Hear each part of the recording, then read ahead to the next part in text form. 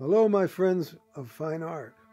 I created this painting inspired by the dance of sunlight on the sea while on board a gulet sailing yacht on the Mediterranean.